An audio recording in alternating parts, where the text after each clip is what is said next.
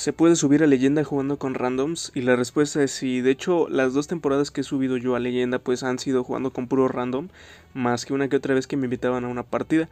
Pero pues no era siempre, entonces pues se podría decir que fue subiendo con randoms, ya que me gusta pues probar ahora sí que a mi equipo y pues ahorita están viendo de fondo mis equipamientos por si les gustan o les agradan y quieren copiarlos, pues adelante ya que pues estos me han servido en las dos temporadas que he subido a leyenda y pues nunca los he cambiado porque así ya me acostumbré yo y siento que son bastante importantes llevarlos ya que te van a ayudar mucho en partidas. Por ejemplo recuperación rápida o el traje antibombas ya que te va a servir porque tiran mucha granada etcétera o hay muchas minas. Entonces pues te puede salvar no o cuando estás en un PvP y te están disparando y pues con ese de curación rápida pues obviamente te vas a curar un poquito más rápido.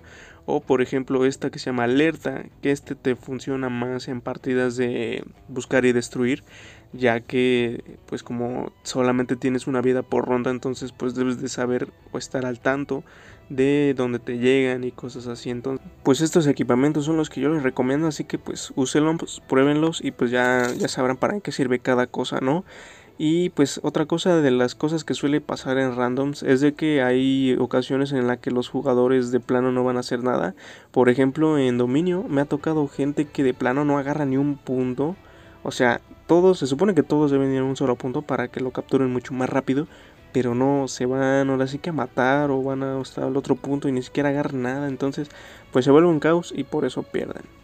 Otra cosa es de que a veces la comunicación pues no va a ser tan buena ya que va a haber jugadores que te toquen que son de otros países, entonces pues no se vas a entender nada.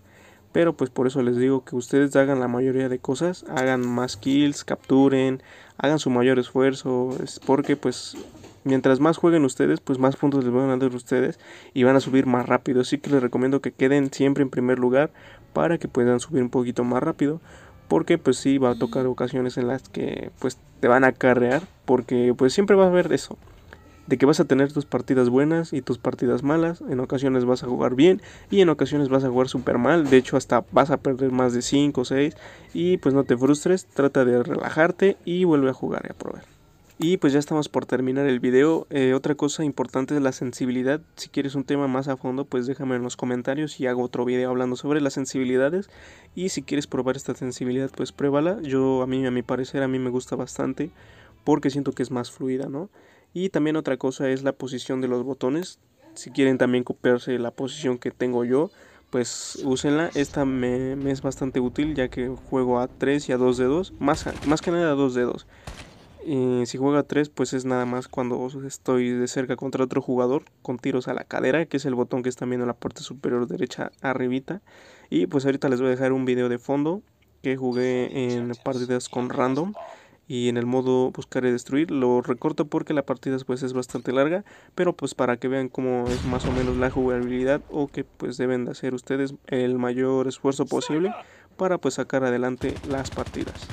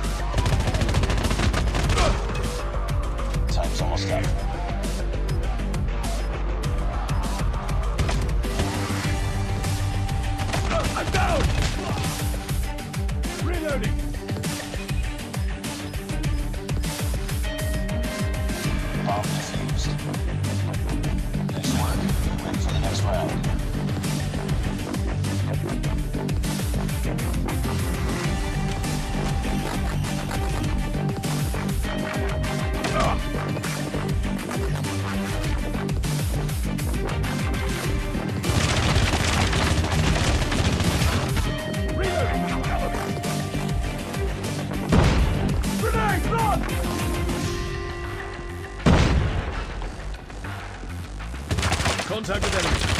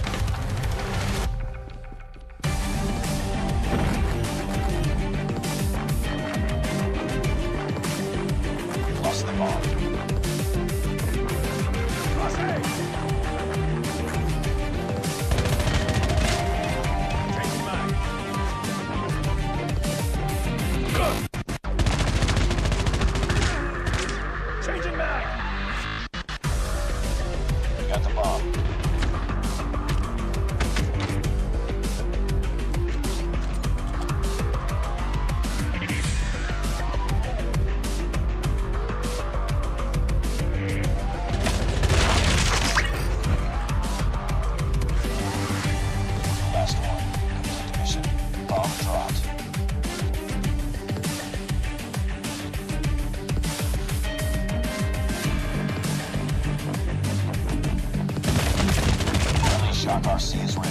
UAV recon standing standby. UAV recon is by.